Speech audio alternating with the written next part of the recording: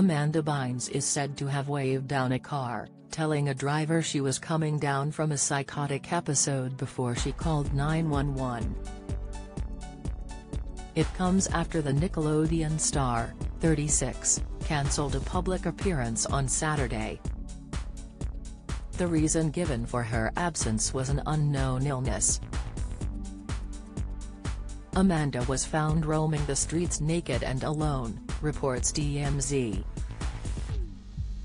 Amanda's mom and dad, Lynn and Rick, are said to be deeply concerned for their daughter's well-being and her health after her reported breakdown. However, the Hollywood child star's parents have since reportedly made a decision to not put her under another conservatorship, a source with direct knowledge of the situation has claimed to the U.S. media outlet. Amanda was originally placed under a conservatorship in 2013 after battling mental health issues. This conservatorship ended in 2022 after nine years. Amanda was reportedly seen walking near downtown Los Angeles early on Sunday morning without any clothes on. The actress was taken to a police station where a mental health team placed her on a 5,150 psychiatric hold. A 5,150 is a legal action from the CA Welfare and Institutions Code. It allows a qualified officer or clinician to confine someone against their will for 72 hours which can be extended.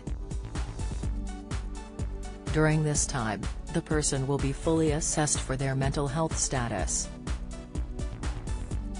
According to reports, Amanda has currently been hospitalized and is expected to receive care for several days. Don't miss.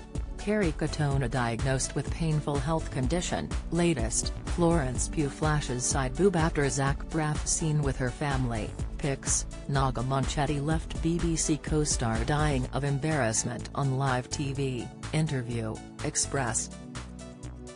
Co.uk has contacted Amanda Bynes' representatives for comment.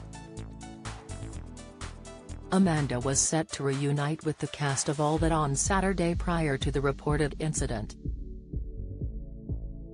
Her co-stars Kenan Thompson, Kel Mitchell, Danny Tamberelli and Lori Beth Denberg were present at the convention, which took place 23 years after the original show ended. Amanda had previously shared her excitement to meet the fans at the reunion in comments to People. If you are struggling with mental health, you can speak to a trained advisor from Mind Mental Health Charity on 0300 123 3393 or email info at mind. Org.uk.